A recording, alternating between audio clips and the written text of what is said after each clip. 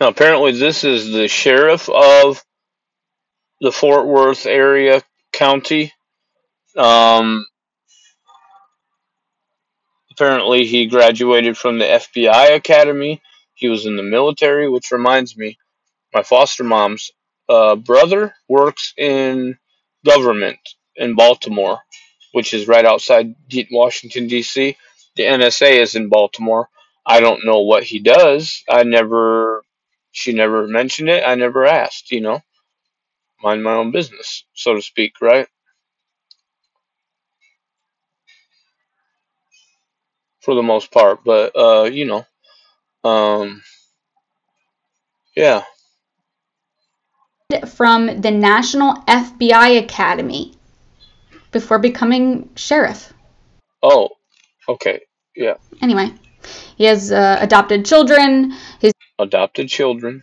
dad was also in the military before. Mil- Um, military. I mean, any to me, military, any kind of government jobs are suspect at this point. You know what I'm saying? They're all suspect. the Air Force, and then he followed Oh, Air Force is definitely suspect. Of all the military branches that are suspect, Air Force is the worst.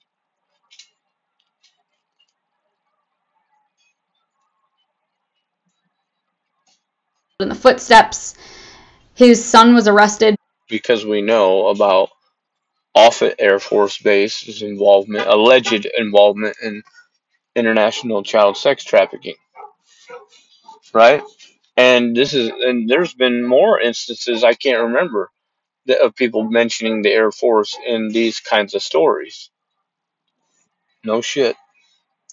For indecent exposure, which is actually a very scandalous thing in conservative Texas, like for a family like that to do. But anyway, not hating on him. I don't know who you are, but I'm just pointing out the Now,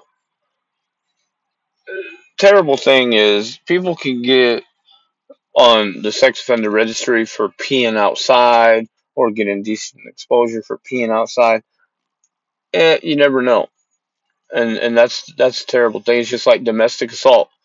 You know, a woman could just lie, and then depending on how bad the system wants to stick you with those charges, you know what I mean. You're you're people. You, you can't rely on the the legal system. But you ask any of these fucking criminals or these YouTubers that been to prison or anything, the paper, the the government's uh, ruling on people is is uh greater than God's ruling. You know what I'm saying? We got the paperwork, paperwork, paperwork, paperwork. All they talk about is paperwork. That's that's the system's basically uh final word on someone someone's life, someone's actions. You know what I mean? These criminals love that shit. It's bizarre, and that's why I they I know they hate me and get mad because I, I talk about it. I call call them out. That shit is fucking bullshit. Who are you? Who do you work for? You act like you you're worse than the police. weirdest part of- to me is that he went through FBI Academy before becoming a sheriff. So, intel communities, you know.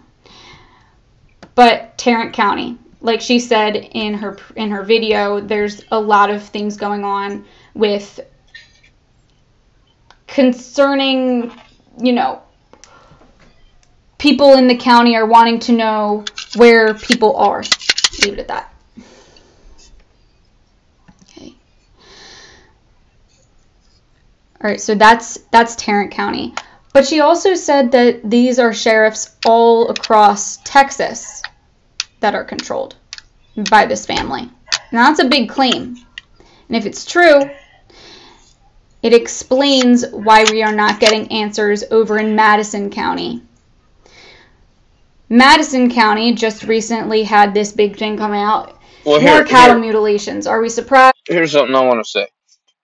That is a pretty big claim, and it's hard to believe that just because these people, the family, uh, the family as a family, not just individuals, the family's worth ten billion dollars, right?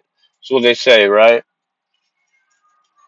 Damn, like you know, um, so If it's that easy to buy off the government in a in a city, a county, or a state like Texas, what do you think a foreign government can do? They've got way more money to work with than ten billion dollars. You understand? This this family, I, I don't buy it. This family controls all of it. And you got the cartels right across the border. China's deep in Texas, been deep in Texas. You got India and all these uh, Middle Eastern countries. They're very deep in Texas. Muslims, it's very, very deep. All those countries, all those people. Yeah, and to believe this one family that has $10 billion runs the whole show, I don't buy it. No. It's been going on since the 1960s.